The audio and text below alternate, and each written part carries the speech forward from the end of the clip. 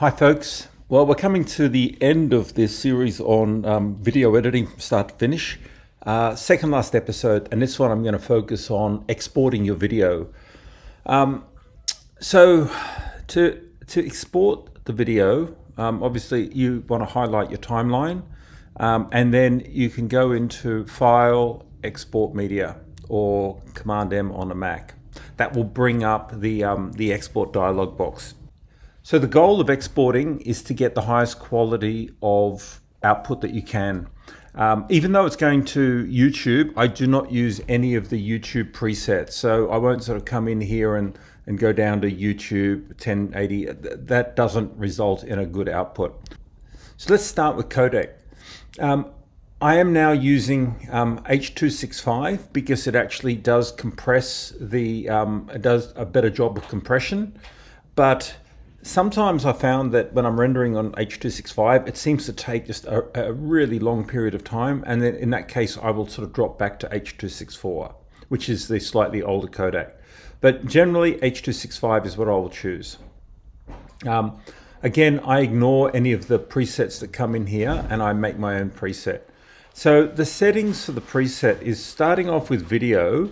Um, even though we've been editing on uh, 1920 by 1080, you want to uncheck this box to say match source. What we're actually going to be doing is scaling up our output video.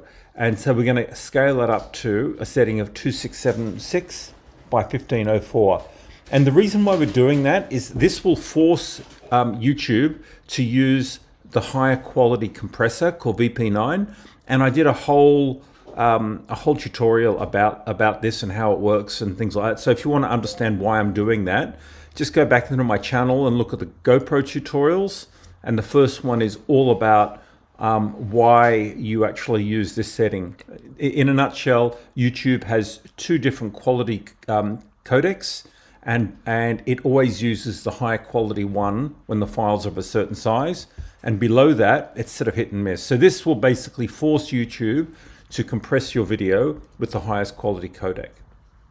Okay, now there's nothing else that we're really altering down here, um, except for when we get to um, bitrate settings. So I choose um, VBR one pass, and you want to sort of just turn this up. I, I usually use anywhere between 20 and 25. I, I basically want the highest um, quality output that I can get. So put that up around about 20 or 25 as your target um, bit rate for compression uh, and then the rest of these stay the same.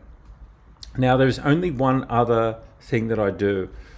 On my effects, I'm applying a um, an output LUT, and if I if I even though it says none, that's just kind of like a weird bug in Premiere. I'm actually going to my hard drive and I'm selecting something called a Q2 a QT gamma compensation curve.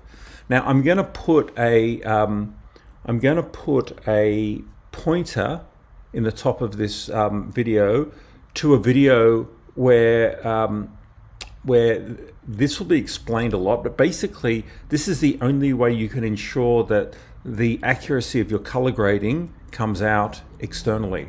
Um, and if you watch this whole video, he'll explain what you need to do there. But um, I, I checked that, and that's it. So you can then come up here and you can save that preset to whatever you want there okay and then I run export and off it goes so it's now going to go off and render that. Um, so usually it is a bit slower than if I'm running to, um, H265 um, but the file is smaller and the quality is better.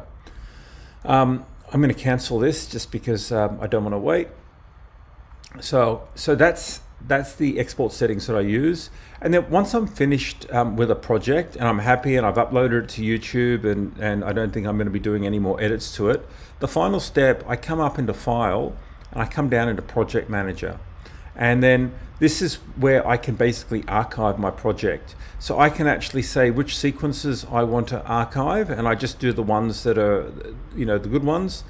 And then here I can actually, uh, there's a few really handy options like exclude unused clips. So if there's big long GoPro clips that you've shot that you're not using, I will turn that on.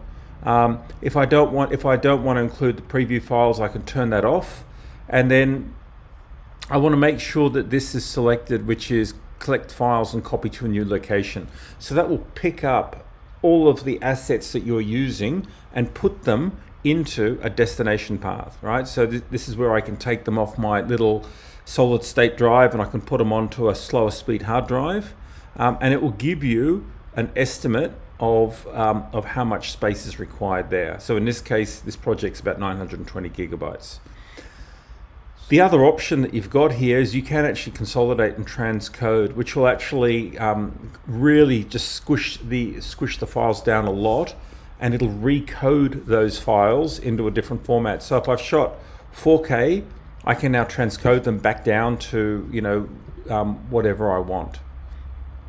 So that's, um, have a play with that, but it's quite a useful way of just wrapping up.